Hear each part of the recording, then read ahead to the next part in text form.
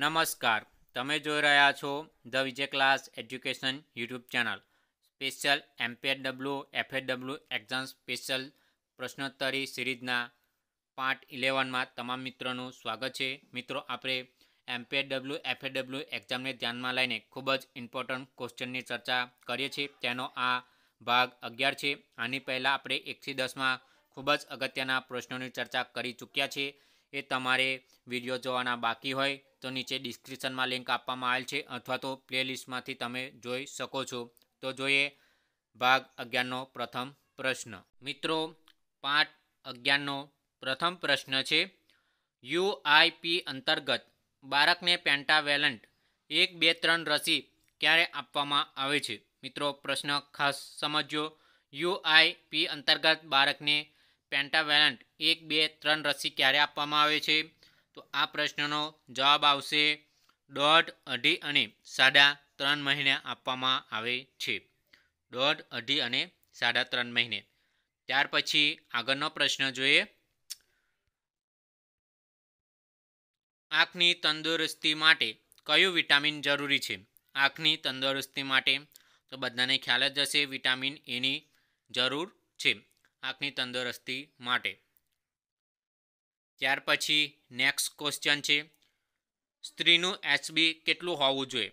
સ્ત્રીઓમાં SB કેટલું હોવું જોઈએ? તો આવશે બારથી ચૌદ. સ્ત્રીઓની નોર્મલ રેન્જ છે બારથી ચૌદ એચબી માટે. ત્યાર પછી આગળનો પ્રશ્ન જોઈએ.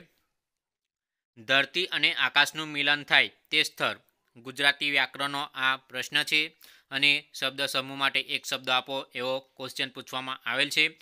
ધરતી અને આકાશનું મિલન થાય તે સ્થળ. તો આવશે ક્ષિતિજ. જ્યાં ધરતી અને આકાશનું મિલન થાય છે, તે સ્થળને ક્ષિતિજ કહેવામાં આવે છે. ત્યાર પછી આગળનો પ્રશ્ન છે. નર્મદે લખેલ સૌપ્રથમ નિબંધનું નામ જણાવો. તો આવશે મંડળી મરવાથી થતા લાભ. એ નર્મદે નિબંધ લખેલ છે અને ગુજરાતી સાહિત્યનો સર્વપ્રથમ નિબંધ ગણવામાં આવે છે. મંડળી મરવાથી થતા લાભ. લેખક છે નર્મદ. મિત્રો, તમારા માટે એક ક્વેશ્ચન છે. નર્મદનો જન્મ ક્યાં થયો હતો? તે તમારે કોમેન્ટ બોક્સમાં લખીને જાણવાનું રહેશે. આપણા ખૂબ જ ઉચ્ચ કોટીના આ સાહિત્યકાર છે. એમના વિશે દરેક એક્ઝામમાં પ્રશ્નો પૂછાય જ છે. તો તમારે કોમેન્ટ બોક્સમાં આન્સર લખીને જણાવવાનો છે કે નર્મદનો જન્મ ક્યાં થયો હતો? ઘણી બધી એક્ઝામમાં પ્રશ્ન આવી ગયો છે. ત્યાર પછી આગળનો પ્રશ્ન છે, કયું નિમેટોડ માનવા, માનવમાં રોગ ફેલાવે છે? કયું નિમેટોડ માનવમાં રોગ ફેલાવે છે? તો આ પ્રશ્નનો જવાબ આવશે એસ્કેરિયાસિસ. ઓકે? ત્યાર પછી નેક્સ્ટ. કયા રોગમાં દર્દીને વીઆઈપી ગણીને સારવાર કરવામાં આવે છે? કયા રોગમાં દર્દીને વીઆઈપી ગણીને સારવાર કરવામાં આવે છે? તો આ પ્રશ્નનો સાચો જવાબ છે ટીબી સારવારમાં દર્દીને વીઆઈપી ગણીને સારવાર કરવામાં આવે છે. ત્યાર પછી નેક્સ્ટ, આ ડીટી ટેસ્ટ કયા રોગ માટે કરવામાં આવે છે? તો આ પ્રશ્નનો સાચો જવાબ છે મેલેરિયા રોગ માટે આ ડીટી ટેસ્ટ કરાવવામાં આવે છે. ત્યાર પછી નેક્સ્ટ ક્વેશ્ચન છે જામનગર જિલ્લાનું ગોપ મંદિર ખાલી જગ્યા દ્વારા બંધાયું હતું. પ્રશ્ન સમજો જામનગર જિલ્લાનું ગોપ મંદિર ખાલી જગ્યા દ્વારા બંધાયું હતું? એટલે અહીં એ પ્રશ્ન પૂછવામાં આવ્યો છે કે કયા વંશો દ્વારા આ મંદિર બાંધવામાં આવેલ છે? તો આવશે મૈત્રક વંશ દ્વારા જામનગર જિલ્લામાં ગોપ મંદિર બાંધવામાં આવેલ છે. ત્યાર પછી આગળનો પ્રશ્ન, કચ્છના વાગડના મેદાનમાં કયા ડુંગરાઓ જોવા મળે છે. કચ્છના વાગડના મેદાનમાં કયા ડુંગરો જે આવેલા છે તે કયા જોવા મળે છે તો આવશે કંદકોટના ડુંગરાઓ જોવા મળે છે કચ્છના વાગડ મેદાનમાં. એવો પણ અહીં પ્રશ્ન બને છે કે વાગડનું મેદાન કયા જિલ્લામાં આવેલ છે તો આવશે કચ્છ જિલ્લામાં વાગડનું મેદાન આવેલ છે. પ્રશ્ન પૂછાઈ ગયો છે. ત્યાર પછી આગળનો પ્રશ્ન જોઈએ અછબડામાં ચામડીની સપાટીએ લાલ દાના દેખાય તેને શું કહે છે?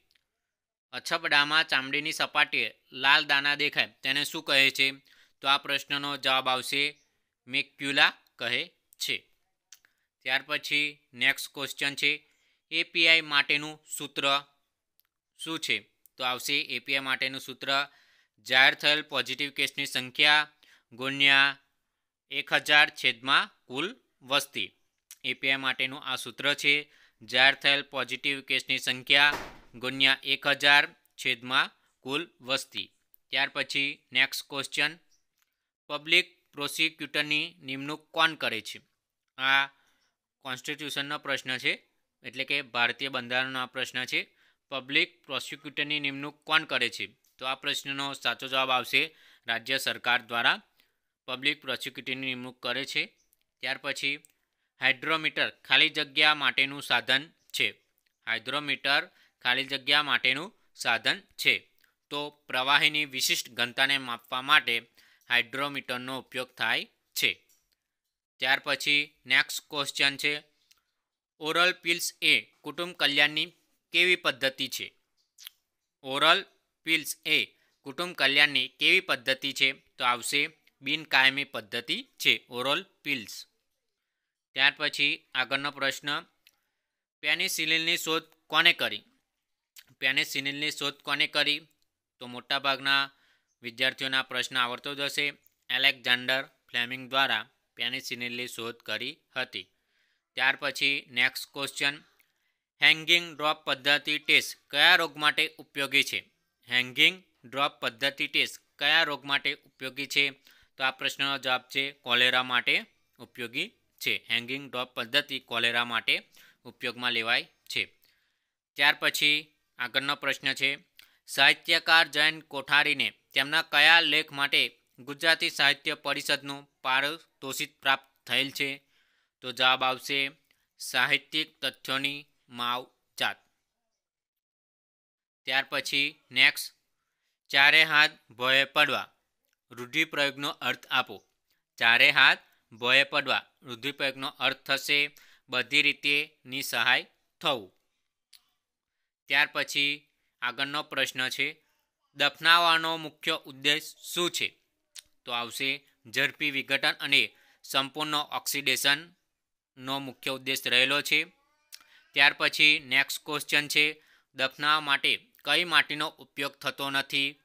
તો આ પ્રશ્નનો સાચો જવાબ આવશે ચીકની માટીનો ઉપયોગ થતો નથી. ત્યાર પછી આગળનો પ્રશ્ન છે, મારો ધર્મ સાચો, તેથી તારો ધર્મ ખોટો એમ કહેનારા ધર્મ માટે નહીં, પણ ધર્મો પર ચોંટાડેલા લેવલ માટે લડે છે. આ વિધાન કયા સાહિત્યકારનું છે? તો આવશે યશવંત શુક્લા દ્વારા આ વાક્ય બોલાયેલ છે, અથવા તો આ વિધાન કહેલ છે, યશવંત શુક્લા. ત્યાર પછી આગળનો પ્રશ્ન છે, રામ સીતા શબ્દનો સમાસ જણાવો. તો સમાસ છે દ્વંદ્વ સમાસ. રામ, સીતા, દ્વંદ્વ સમાસ. ત્યાર પછી આગળનો પ્રશ્ન છે, પ્રેમાનંદે તેમના આખ્યાનોમાં દમયંતીના સૌંદર્યની લાલસા ધરાવતા કોને અતિ પ્યામાર પશુ વ્યવહાર કરતા દર્શાવ્યા છે? તો આવશે દેવોને દર્શાવ્યા છે પ્રેમાનંદ દ્વારા. ત્યાર પછી આગળનો પ્રશ્ન છે, અગ્નિ સંસ્કારમાં શબમાંથી દુર્ગંધ ના આવે, તેના માટે શું કરવું જોઈએ? અગ્નિ સંસ્કારમાં શબમાંથી દુર્ગંધ ના આવે તેના માટે શું કરવું જોઈએ? તો આવશે ચંદનના લાકડાનો અને ઘીનો ઉપયોગ કરવો જોઈએ. ત્યાર પછી નેક્સ્ટ ક્વેશ્ચન છે. એક વિંગામાં કેટલી કબર બનાવી શકાય છે? તો આ પ્રશ્નનો સાચો જવાબ છે બસો ચાલીસ.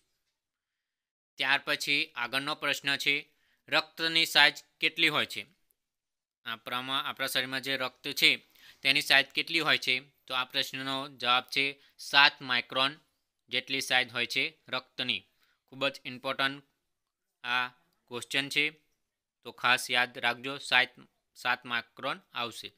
ત્યાર પછી આગળનો પ્રશ્ન છે, કયા ખનિજનો ઉપયોગ રાસાયણિક ખાતરો, કાચ, રંગ અને જંતુનાશક દવાઓ બનાવવાના કારખાનામાં કરવામાં આવે છે?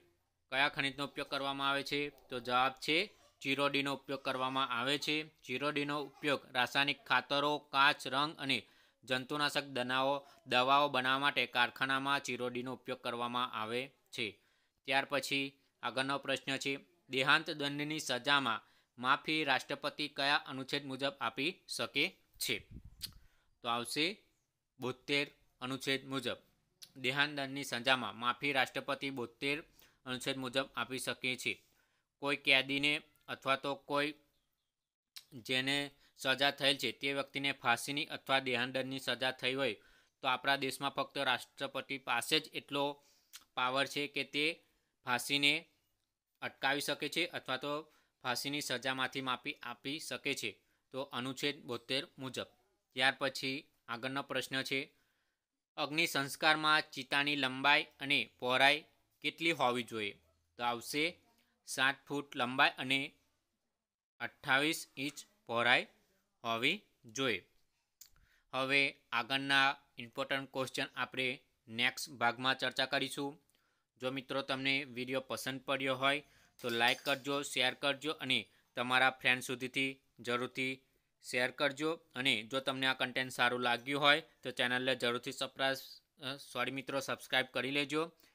જોઈએ નેક્સ્ટ ભાગમાં હવે ઇમ્પોર્ટન્ટ ક્વેશ્ચન ત્યાં સુધી નમસ્કાર.